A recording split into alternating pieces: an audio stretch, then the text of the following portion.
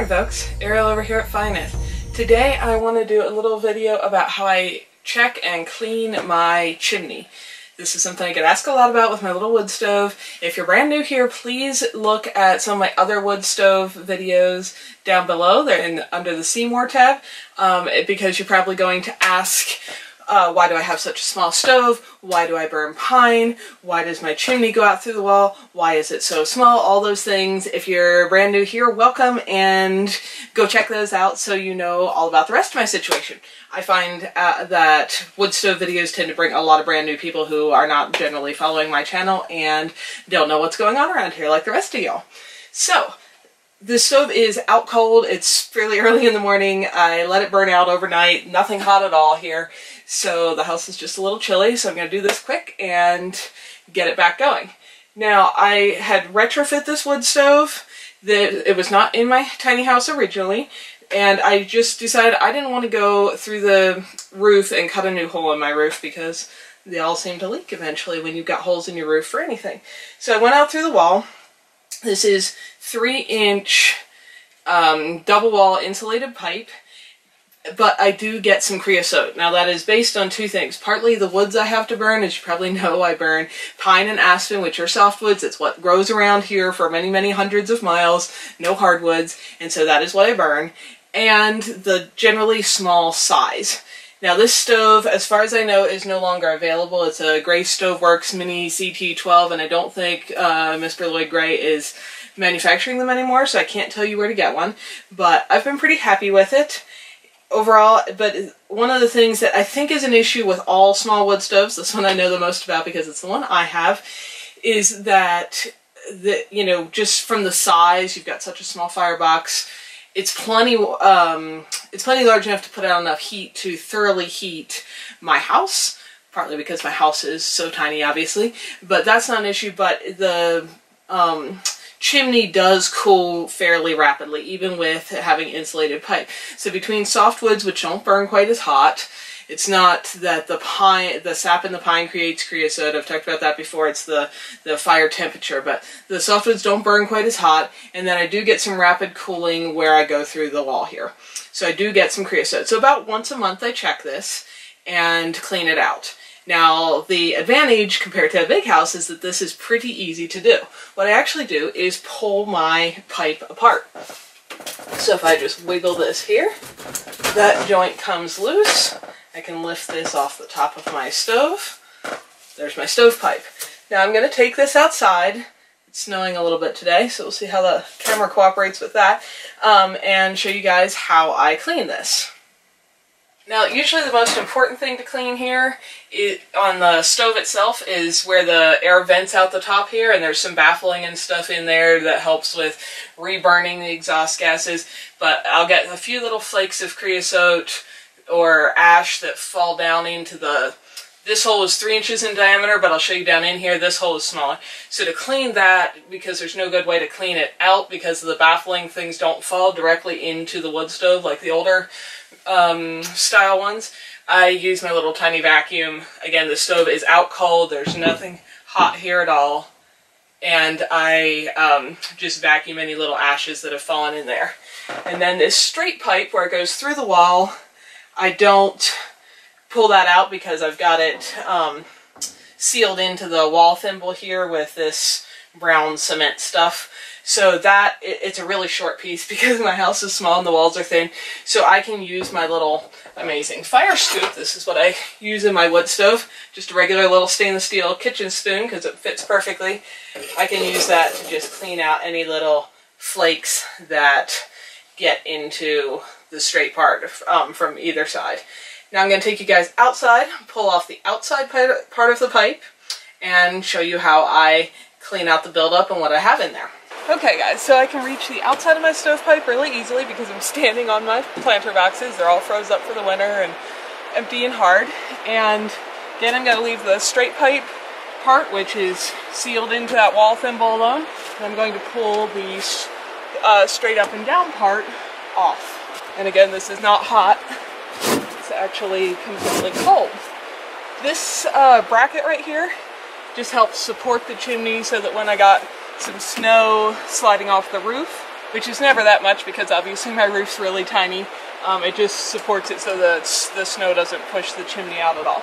But we've got it just loose enough that I can take that whole piece off. I'm to clean that just like I'm going to clean the inside piece here in a second. And turn this part down and like I said I'll I'll use my little scoop to do um, to clean out of that little straight piece. Okay guys, so I got my two main parts of my chimney here pulled off. I know that pulling a chimney apart is not the way most people are going to clean their chimney. Um, but for my tiny house and with the fact that I can reach both parts really easy and nothing's that long, it's, this is just what I've found to be the easiest way for me to clean it out. I'm going to use my handy um, fire starter. It's the same one I use indoors. Um, sawdust soaked in a little diesel. You could also use uh, paraffin, um, tiki torch fluid, any of those kind of things. And what I've found to be the easiest is if I just got these pipes sitting upside down, take a scoop of that and drop it right down in. Do the same thing on that guy. I've got these props somewhere where I know that the um, top here is not going to vent onto anything flammable. And I'm just going to let these burn out. So, use my little lighter here. This one's about dead. So light that up. This side. Light that guy. And now you can probably start to hear this is just going to create a suction. The air is sucking in the open bottom of both of these. My, I'm not going to want to touch this now, my outside chimney pipe, my inside chimney pipe, and you're going to start to see smoke and even some flames um, coming out of the top ends there. Now this just seems to work really efficiently to burn off any little creosote buildup, any dust and ash that's gotten into there, and it's just, as I, and as I said, this probably isn't the way everyone would do it, but with my tiny house, this is the easiest setup I've found to really clean my chimney thoroughly. Now you can start to see the uh, smoke rolling out there, sometimes even get a few little flames coming out the top, and that is why I want to make sure those you know, chimney ends are not pointed toward anything flammable. If you're wondering about the flaking on the black paint there on the pipe, these pipes were originally stainless steel and I just wanted them to blend into my surroundings a little better, so I spray painted them black with a heat-safe paint, but I think I used one that was a little bit cheap and it, you know, over the years it hasn't held up that well. So we're going to just let those burn there for a bit and I'm going to show you few other things. So come down here, you can see that's the uh, roof vent keeps rain and stuff from coming down in the pipe. but You can see the little bit of creosote built up there, and here you can see the eh, kind of feathery flakes that were um, coming in from the sides. So it's just gonna burn. Again, you can, I don't know if you can quite see it, you can definitely see the smoke rolling out the top there. Every now and then you can get a hint of a flame, so I don't want to get the camera too close. Um, but Gonna let those burn until they burn out completely. There's no more smoke, no more heat, no more flame. Let me take you inside. Back inside here, see if my flashlight can show you what goes on. You can see the inside of the pipe there. There's a little bit of flaking creosote buildup. Um, by no means closed off. Um, the reason you can't see daylight through there is because of the curved pipe on the other end. Um, but I try to do this about once a month just to make sure everything does stay cleaned out for my little setup. Back out here you can see still got flames down there, still got smoke rolling out the top, and there you can see the pipe bend why you couldn't see straight through to see daylight on the inside. Now when I hook this back up, this part is going to go like that. And a lot of people have asked why I don't have a little T-joint here for clean out. Um, a couple reasons for one, I would still have to pull apart the inside um, and clean the the straight part. So I it wouldn't save me from needing to do some pulling apart here. And two, if creosote piled up down in that T part, there is a potential I don't think it would be high because of the, you know, distance from the stove and the small size of the stove, but there'd be a potential for getting a spark into there and starting a chimney fire from the accumulated creosote pile in the T part. So that's just why I don't do it. Um, I'm no stove expert, but this is how I've been doing it for, let's see, this is my fourth winter in my tiny house. Had the stove all but the first year, so I've been doing this for three years. Works for me, and this is what I do. So I let those uh, main parts of the chimney keep burning off outside because they're going to burn till there's nothing at all left in there. Then they're going to go out. They cool down pretty quick because it is chilly out there. And I'll use my little brush to scrub them out. But in the meantime, I'm just going to do the little straight part here. As I said, I use, this is just a regular kitchen spoon, but it's been uh, repurposed into my fire spoon. It's what I use to scoop ashes and all kinds of things in the fireplace. But I can just use it to scrape the walls of this little straight part through the thimble so that I don't have to pull this out. I could run my brush through here. This is just as handy because it's such a short piece of pipe. Scrape any little crumbs into my ash bucket here. This is a metal pail. It's what I use to scoop ashes out of the fireplace. But again, all this is totally cold, obviously. Just make sure there's no other little crumbs in there. Not a whole lot, just got a little bit of black soot. And then, like I mentioned, I want to clean up any dust around here before I put this, you know, all back together. So I'm going to use my little vacuum cleaner for that.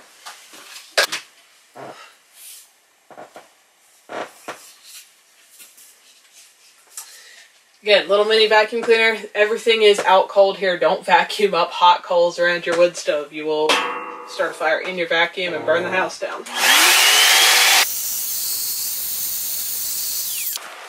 Okay guys, everything is out cold here. Can't hear any more burning. There's no more smoke. Can't see any more flames. So anything that was stuck to the sides there should be thoroughly burned loose and just dry ash. And so I'm going to just run my little pipe cleaner through my pipes and make sure I brush it all out of there. The reason I don't run this up and down through the entire chimney without taking it apart is, uh, probably should be obvious, but I would have to take off the top cap anyway and it would be hard to get around the two elbows and then because of the way modern wood stoves are built it's not just an open hole dumping down into the wood box in the wood stove, so you can't run a, a cleaner down and out that opening. So this works for me.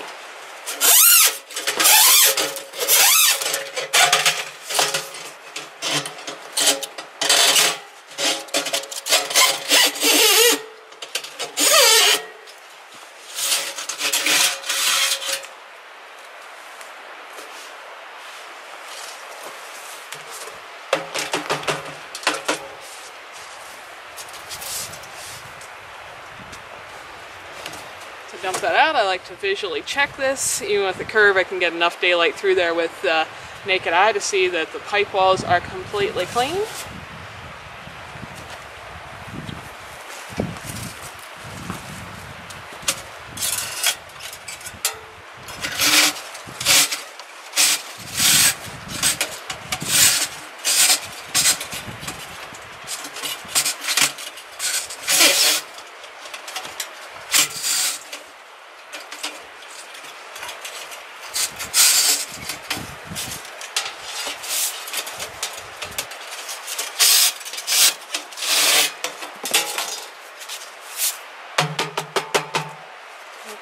Check again, make sure I can see the whole pipe is clean. See if I can show you guys that as well.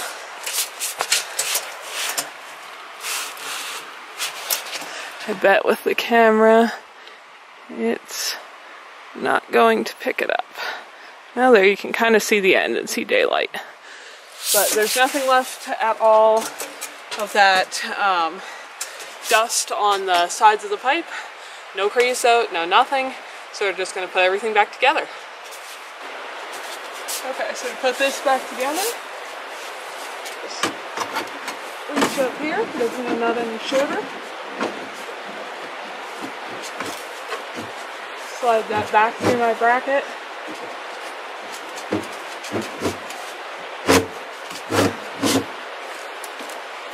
This, because remember I had this flipped down to clean this.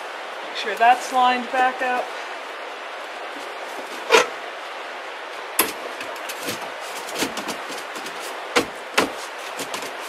And pop my pipes back together. Now I just gotta finish inside. Inside pipe, and I've cleaned everything out here, vacuumed any little bits of dust I've knocked into anything. Just sits back on top of the wood stove. And, and the pipe seats right back in there like that. I promise this stuff takes twice as long when you are trying to make a video of it because you gotta move the camera all the time to the different spots. But this really is not a big deal. It does not take me long at all. Now I usually knock a couple more flakes of dust onto the ground when I put that all back together. I'm to vacuum those real quick and light the fire back up.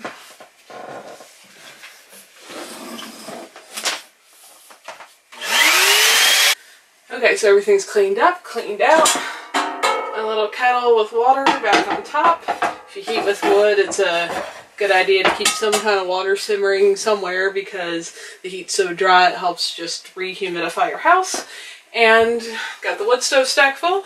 Gonna light it back up.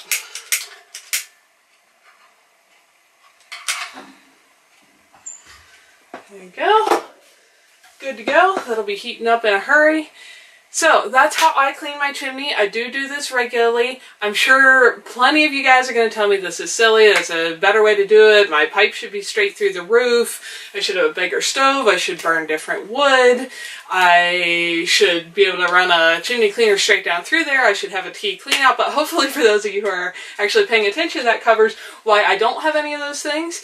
This setup does work for me in my situation with this wood stove in my tiny house. It lets me stay safe. I've been using this, I'm in my fourth year in here, third year with the wood stove. It works. I've never had a chimney fire, never had any issues. My um, stove burns just fine, drafts just fine, all that. So yes, there might be a better way, there might be a different way, there might be better equipment, but this all works for me. So if you've got a tiny wood stove and you got a tiny house, that uh, might give you some ideas for how to easily clean your own chimney. Enjoy your day.